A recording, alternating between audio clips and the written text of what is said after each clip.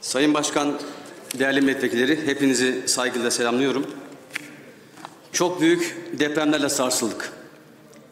11 ilde yaşanan, Gürcistan'dan Mısır'a kadar hissedilen bu depremlerde ne yazık ki çok sayıda vatandaşımızı kaybettik. Çok sayıda yaralımız var. Kaybettiğimiz vekilimiz oldu, eski vekillerimiz oldu. Vekillerimizin, meclis çalışanlarımızın yakınları, akrabaları hayatını kaybetti. Hafif acılar konuşabilir ama derin acılar dilsiz, dilsizdir demişler. Tam da böyle bir anı yaşıyoruz. Çok sert ithamlar oldu. Hepsi cevap verilebilir. Ancak bugün bu cevapların çok anlamsız olduğunu, bu polemiklerin yersiz olduğunu düşünüyorum. Yoksa o bölgede her partiden belediye başkanı var denebilir. Kentsel dönüşüme kimler karşı çıktı tartışması başlatılabilir. Her yıl 20 bin binayı dönüştüreceğiz deyip de geldiğimiz 4 yılda bırakın 80 bini 8 bin ay dönüştüremeyenler nasıl konuşabiliyor denebilir. Enkazın önünde seçim tartışması yapanların ne kadar ayıp ettikleri söylenebilir. Hakkımızı helal etmiyoruz diyen arkadaşlara zaten sizden hak helalliği beklenmiyor ki. Bu bambaşka bir konu. Bu bir irfan meselesi. Bunu anlayamıyorsunuz denebilir. Ama bugün kalp atışlarımızın adeta birleştiği, dualarımızın hep bir ağızdan amin bulduğu bir gün olması lazım. Geçmişte birçok badireyi beraber atlattık. Milletçe atlattık. Tekrar bu sorunları atlatmaktaki ısrarımızı vurgulayabilirim. Kaybettiğimiz canlarımıza tekrar Allah'tan rahmet diliyorum. Yaralarımıza acil şifalar diliyorum. Sayın Başkan, değerli milletvekilleri, depremlerden dolayı zor bir süreç içerisindeyiz. Canımız yanıyor. Yaralarımızı ibedikle sarmak için uğraşıyoruz.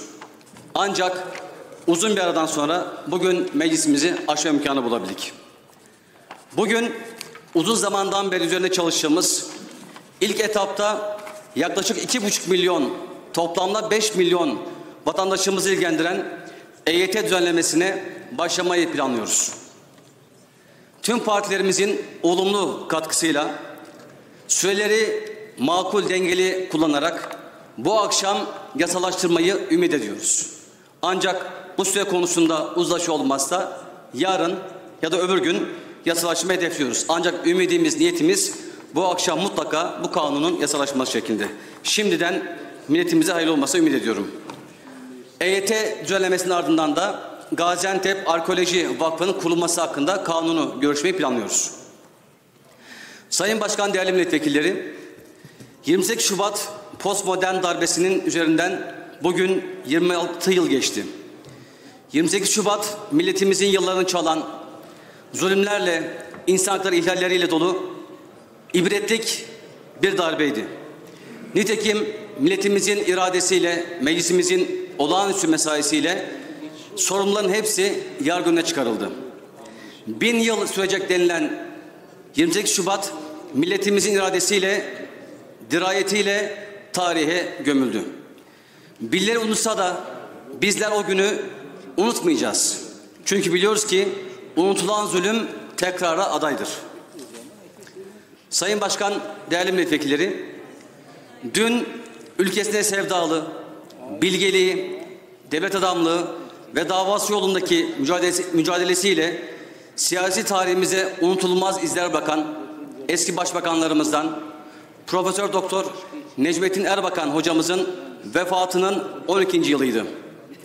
28 Şubat mağdurlarından ömrü büyük bir dava bilinciyle geçen aslında bütün mesele şerefli bir ölüm içindir diyen merhum hocamıza bir kez daha Allah'tan rahmet diliyoruz. Genel kurulu saygı selamlıyorum başkanım.